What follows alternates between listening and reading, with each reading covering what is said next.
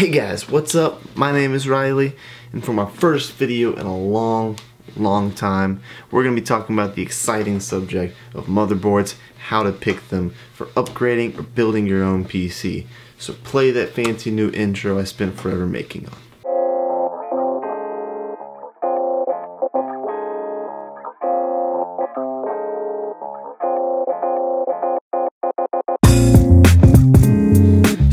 You go out and buy a motherboard, it probably helps to know what a motherboard even is. So basically think of the motherboard as the heart of the computer. If the CPU is the brain and that does all the processing, then the motherboard is the heart, which means it holds everything in the computer together. You plug your graphics card into it, you plug your RAM into it, you plug your CPU into it, and the motherboard makes it all work together and in a synchronized fashion.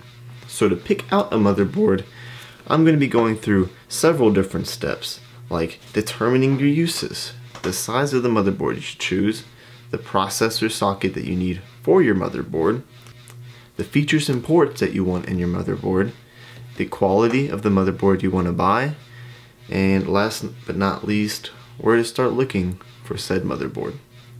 So first you want to determine your uses. Are you the type of user that's just building or upgrading a PC that you're just going to use to browse the internet and maybe do some light gaming here or there? Or are you a heavy, heavy computer user who video edits or games all the times?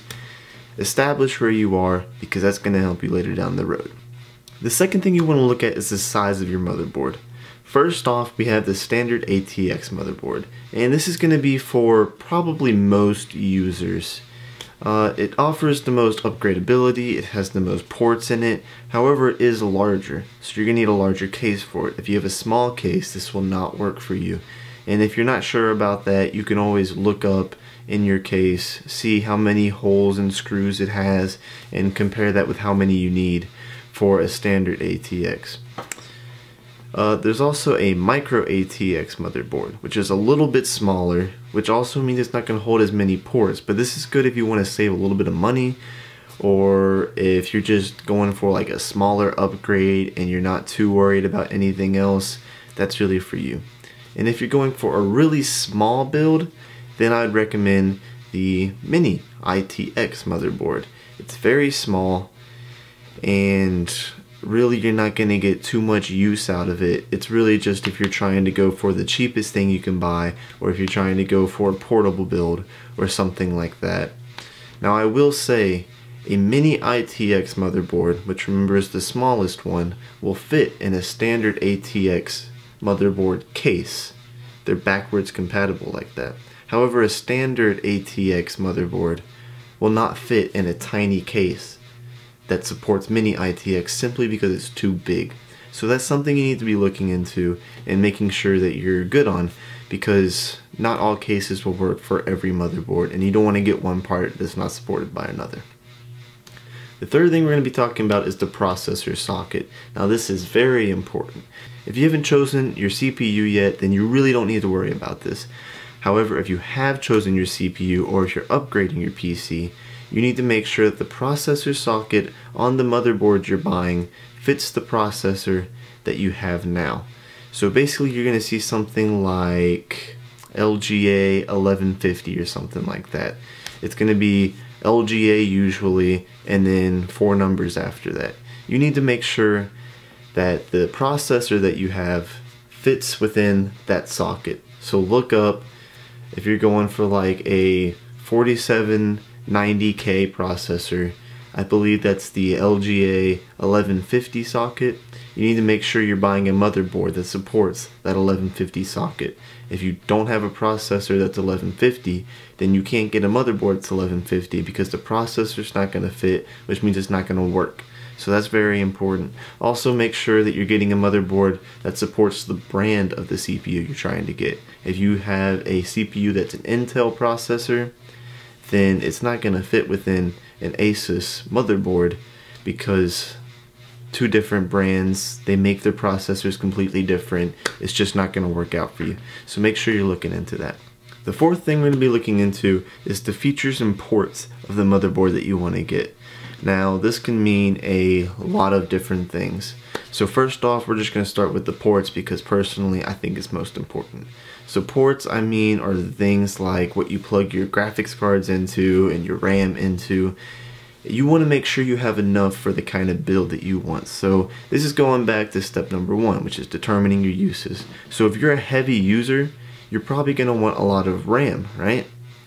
Well, that means you're going to need more RAM slots to put that RAM into and that's why it's important to make sure that when you're buying a motherboard you're thinking about these kinds of things. You don't want to get a small motherboard that doesn't have any ports for the supplies that you want to put into it.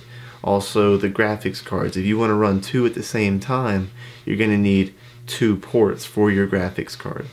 You also want to make sure if you want to use those graphics cards synonymously then you want to make sure that you have SLI or crossfire capabilities into that motherboard.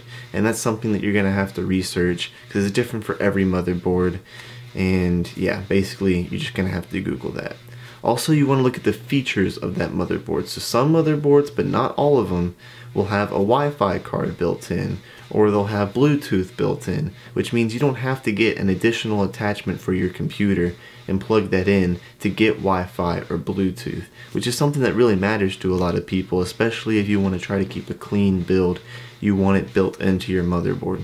The fifth thing we're going to be talking about is very, very important, and that's the quality. A motherboard, you can find some very, very cheap motherboards out there, but do you want to buy those? Probably not, because it's not going to be quality. For something that holds all your components together and makes them work together, that's something you really need to look into. Also, this can go into overclocking. If you want to overclock your CPU, which for those of you that don't know what that means, that means you just want to get some extra performance out of that processor by giving it a little bit more voltage, you're going to need a better quality motherboard. So basically, the only way you're going to know this is by typing on Google the motherboard you want and reading a bunch of reviews on it, because I can't tell you everything about every motherboard out there but I can't tell you the brands that I would recommend. Brands like Asus, MSI, Gigabyte, those are really the top three motherboard makers out there right now. So if you're going to buy a motherboard, try to look at those people first. And remember, a faulty motherboard is a faulty system.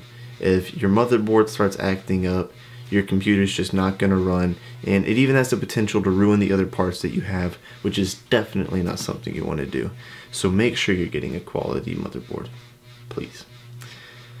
Last thing we're going to be talking about is where to start looking. So in this great big world of motherboards that have been coming out since the 1970s, it, it can be a little daunting of a task to find something that suits your needs. So basically all I can tell you is you know what you want by now. If you've been following all these steps, you know what kind of features you want, you know what kind of user you are. All I can really tell you now is just go to Google, start typing in, and find something that works for you.